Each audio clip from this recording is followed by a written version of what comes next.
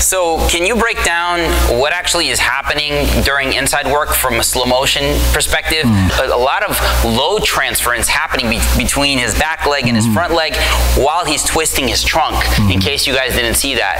So let's review that. Okay, so one of the number one rules fighting inside is not to go flat. So two feet together, flat like this. That gives him numerous targets. Target, target, target, target, target.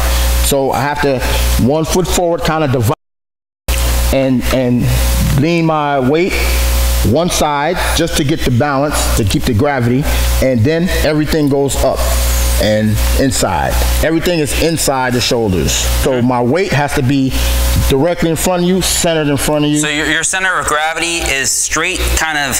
If Right your spine, your spine actually has to be straight down. Yes. So what's actually happening with him? If you guys look here, his spine has to be super, super straight. His his his head has to be straight on top of his spine. He's not actually leaning forward because if he is, he's. Right. going to go down. He has to be in this kind of a position. Right. And if you could see, his center of mass is straight down to the ground between his legs right now.